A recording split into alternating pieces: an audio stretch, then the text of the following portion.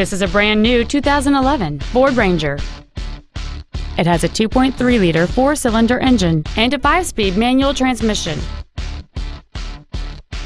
Its top features include a double wishbone independent front suspension, a trailer hitch receiver, an engine immobilizer theft deterrent system, 12-volt power outlets, privacy glass, a low tire pressure indicator, traction control and stability control systems, an anti-lock braking system, a passenger side airbag, and many other features. With an EPA estimated rating of 27 miles per gallon on the highway, this vehicle is clearly a fuel-efficient choice. Please call today to reserve this vehicle for a test drive.